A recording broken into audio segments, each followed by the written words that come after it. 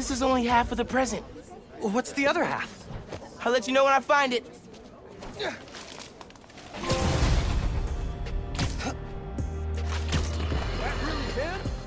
Welcome to Just a Fact.